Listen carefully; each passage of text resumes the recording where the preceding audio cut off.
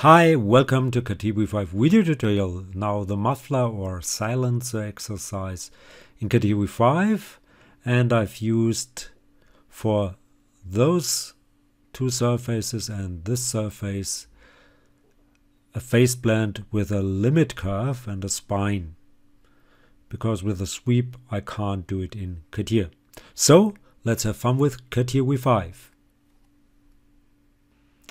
Let's start with a sketch on the YZ plane. Hide as usual those yellow projected elements. Yeah, that was still on like this. I need a rectangle and I want don't want to use those constraints therefore I will delete them now that distance should be 300 and this one should be 400 I want it to be symmetric to the axis system in both directions. Then I need a line to trim that object, go for your quick trim like this, add two dimensions from this point to that line. It should be maybe 180 and another one from this line to that point which should be 280 now I want to fillet all corners, therefore I want to use my user selection filter, select all points, go to that fillet or corner and this should be 90 millimeter radius and all corners are filleted. Leave that sketch. Then I will need a sketch or a wireframe circle on that plane so go for a circle. Support plane would be this one. And this should be center and radius yes. And the center would be on that x-axis. And it should be create a point at x minus 300 minus 90 is 210 and y should be 0 and z should be 0 as well. Yeah. Confirm. And the radius should be 300 and I want it to be somewhere over here so uh, let's move that one just to estimate that angle. So this would be 260 would be okay. And this would be at 100 and I could of course even make it a smaller one. Let's go for 130 and that would be 230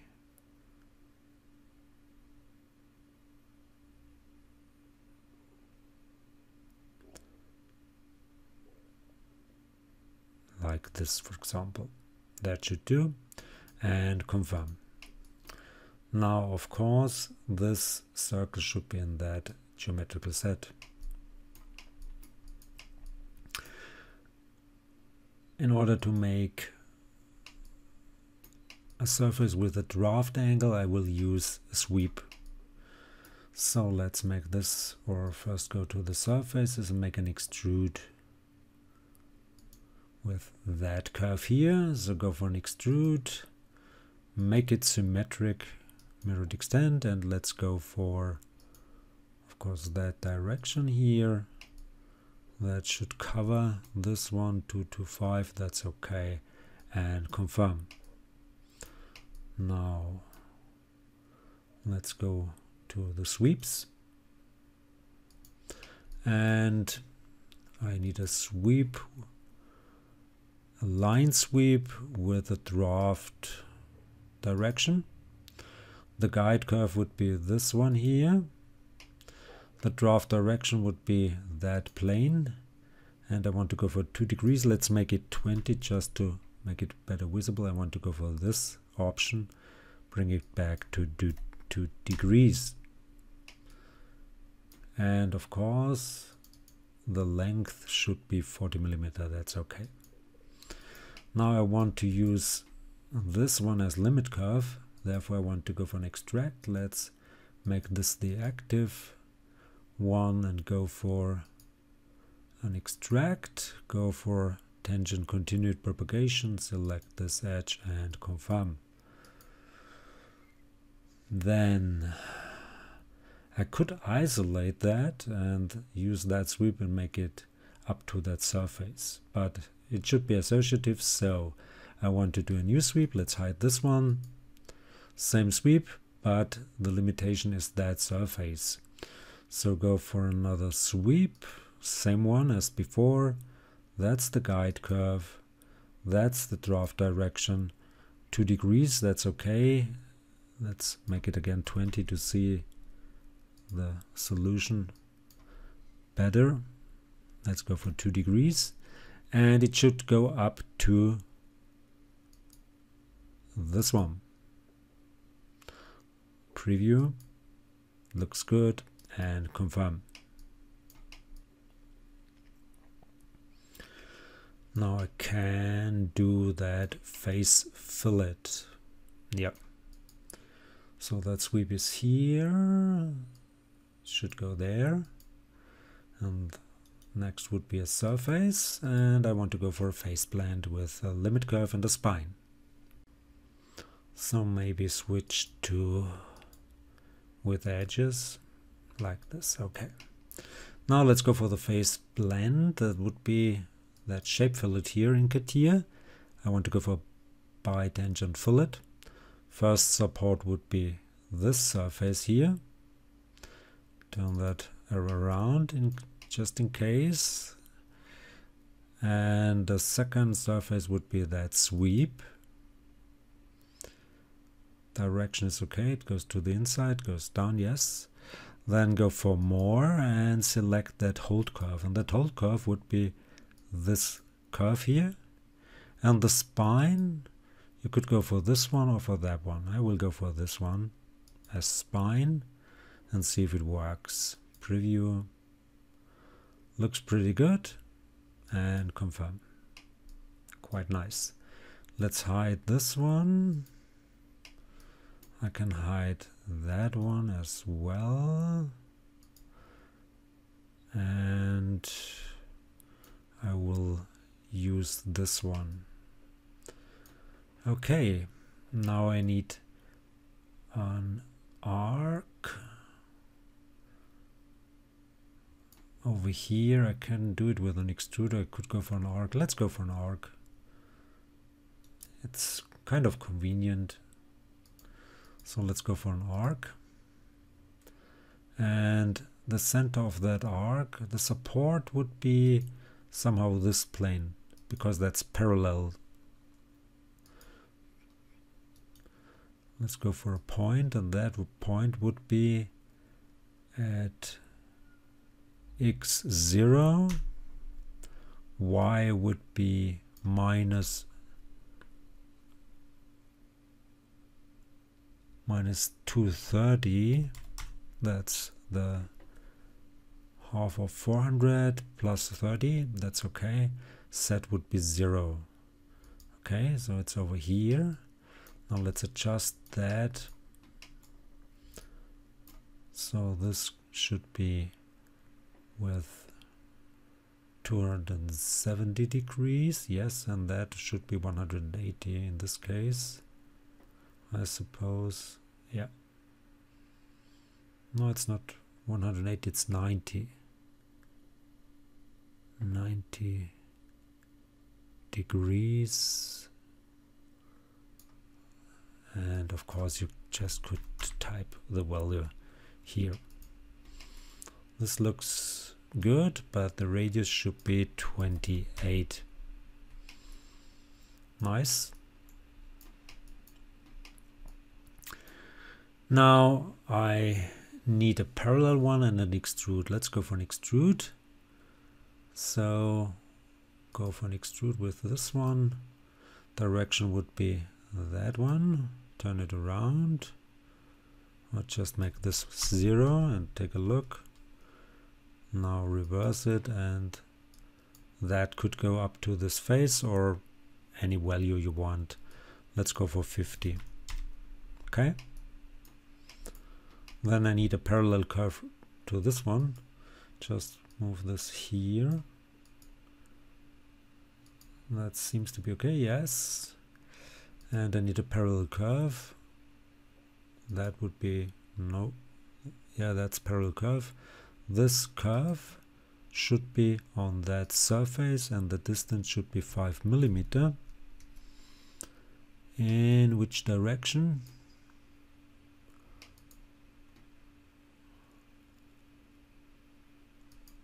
In that direction. And okay. And now I can do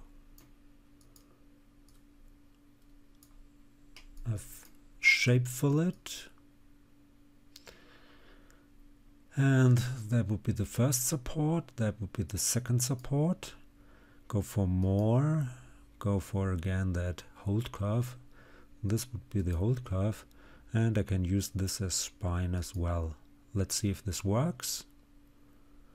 Make sure those arrows point in the correct direction. That should go, this one should go up, this one should go up as well in this case. Make a preview, looks pretty good, and confirm.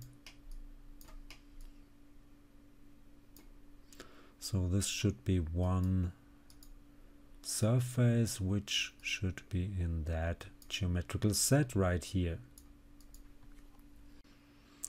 Okay, now I want to use here. Can I go for a circle? Therefore I would need a plane somehow. So let's see, can we do a plane here? Offset from plane, nope. Angle normal to plane, can I select that as rotation axis? Yes, I can. Reference would be this plane here and the angle would be 90 degrees of course. So now I can do another circle. Let's put that plane into the reference set. Go for the curves. Go to circle and I want to use center radius. Yes support would be this plane. Radius would be 28 yes and the center. The center is, uh, let's go for create a point. It's somehow quick and dirty, but it works. So go for between and select that point here and this point over there and go for the middle point and confirm. Now let's adjust the angles. So this looks good and confirm. Let's do another extrude with that circle here in that direction. So that would be this direction and turn it around and make it 30 millimeter. Of course, I could use that for parallel curve as well. So that extrude should go here. Now go for that parallel curve once more. Parallel curve, I want to offset this edge here and it should be on that surface and direction is okay, 5 millimeters is okay and confirm. Let's do another shape fillet. Move this up to the curves and go for that shape fillet. Select first surface, surface, second surface, go for more, go for that hold curve, that would be this one, and select the spine the same. And make sure those arrows point in the correct direction. This should be in that direction, that should be also in that direction. And let's confirm. Great. That fillet should go here. Now I could hide all curves, all sketches, all sweeps, they're already hidden, and just mirror that surface. So go for symmetry. This should be mirrored uh, with this plane here and confirm. Now join those two surfaces and I'm done. So I hope it was helpful. Hope you enjoyed it. If you did, please give it a like or leave a comment. If you want to see more, please give it a like or leave a comment. Please subscribe to my YouTube channel. Please subscribe to my Facebook CAD fan page. Would be very nice of you. I want to get more likes and subscriptions over there as well. Thanks for watching. See you to the next one. Bye bye.